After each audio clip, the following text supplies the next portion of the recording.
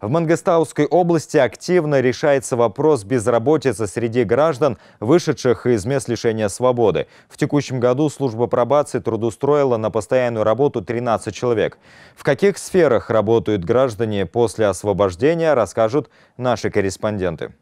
Адаптация в обществе лиц, освободившихся из мест лишения свободы, зачастую протекает сложно, так как многие работодатели не хотят устраивать к себе бывших заключенных. Однако, благодаря поддержке государства, граждане, освободившиеся из тюрьмы, могут устроиться на работу в теплице, в цех по сборке мебели, кафе и другие заведения. Их трудоустройству способствуют и неправительственные организации. Меня трудоустроили на работу, устроили мотористом.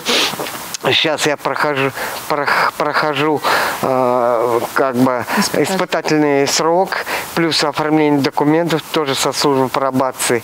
Вот, э, прохожу. Да, жизнь налаживается, несмотря на это, и хочется жить, и тоже приносить какую-то помощь, как принесли мне со службы пробации. Представители службы пробации региона работают совместно с индивидуальными предпринимателями. Ведутся переговоры с целью трудоустройства тех, кто начинает новую жизнь на свободе. До конца года планируется трудоустроить около 30 человек, заключив партнерские соглашения с владельцами пяти малых предприятий.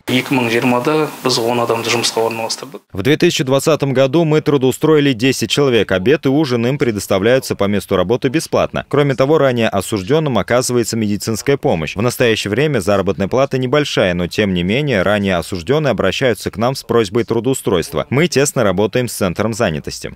В Актау на пробационном контроле состоит 631 человек. Многим помощь могут оказать близкие люди и родственники, ну а те, кому требуется помощь, но оказать ее некому, получают поддержку благодаря контролирующему органу. Бывшим заключенным оказывают бесплатную психологическую и юридическую помощь. Сергей Уланов, Айдана Мауленко за Аманда Каманкулов, Рустам Жумашев, ТДК-42, Мангистауская область.